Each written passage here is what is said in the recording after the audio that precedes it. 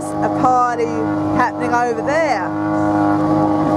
Jumping from one boat to the other on an Easter day weekend. Well, I bet they're having lots of Easter eggs with lots of liqueur in them. well, this is Blackpool we're coming into and Ross should be here somewhere.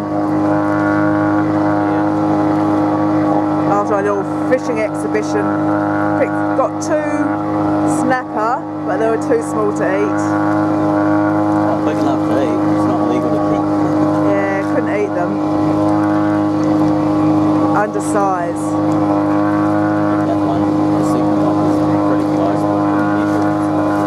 Yeah. Very close. Oh, I wonder where Ross is.